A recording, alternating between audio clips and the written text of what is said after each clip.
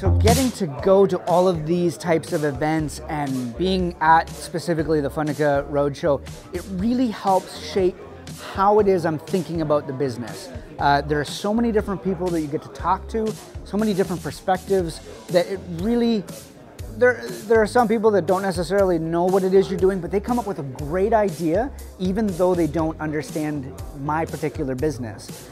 But it's because they're an expert in something that I'm not an expert in. And so that's really exciting to talk to all those different people.